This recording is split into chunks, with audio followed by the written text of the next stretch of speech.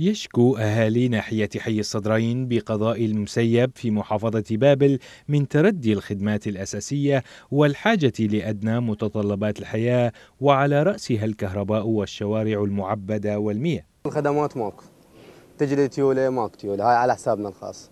تجي لي الكهرباء هاي الكهرباء. جو دارة الكهرباء بذات نفسيتهم سألتهم جابوا محولة قالوا يصل الكهرباء اللي جاي ضفيرة.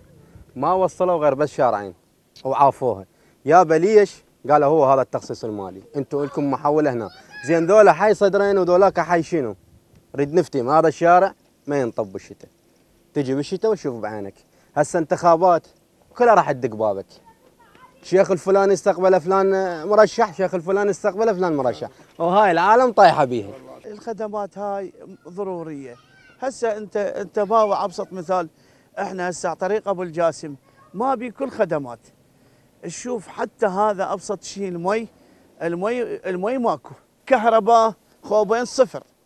والله العظيم كهرباء أنا من الناس هذا بيتي كل ما هاي يطق الطق هاي ال wire خفيف ويطق جار من المحوله ويطق بالعجل. ما تتحمل. صفر إلى أبعد الحد. يعني كهرباء ومي ماكو.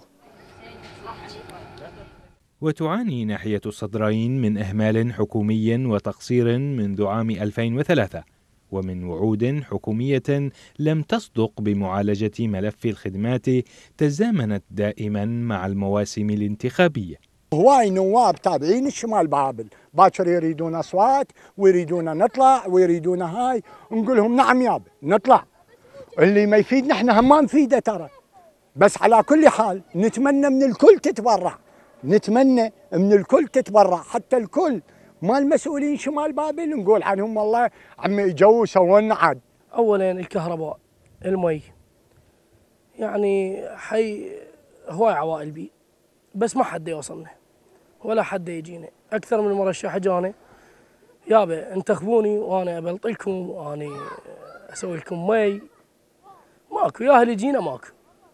فإحنا هسه نريد نعرف من هالدولة من أي واحد اللي يجينا هلا بيه بس إحنا نريد نريد اولا مي ثانيا تبليط ماكو. هاي الشتاء هنا معاناتنا يعني معاناه دمار. وترى إحدى الجهات المسؤولة أن طبيعة الأراضي الزراعية للمنطقة تتطلب جهودا أكبر لتنفيذ الخدمات فيها وأن سوء التنسيق بين المؤسسات الحكومية لعب دورا كبيرا في تفاقم التقصير. مسألة وجود تفتيت الأراضي الزراعية وتحويلها إلى أحياء سكنية وبالتالي تصبح هذه مكان ما تكون قرى تحتاج إلى مستوى معين من الخدمات تتحول إلى أحياء سكنية وتحتاج إلى خدمات آه، بمستوى أعلى آه، كان يكون مد شبكة كهرباء أو شبكة أنابيب أو تبليط وأكساء طرق. مرات غياب التنسيق بين هذه الدوائر وبين إدارة الناحية يجعل أن هذه المناطق تعيش حرمان. وتبقى ناحية حي الصدرين كغيرها من النواحي والمناطق الكثيرة في العراق. ضحية من ضحايا الفساد الحكومي الذي تنامى حتى بات العراقيون يئنون طالبين أدنى متطلبات الحياة الكريمة.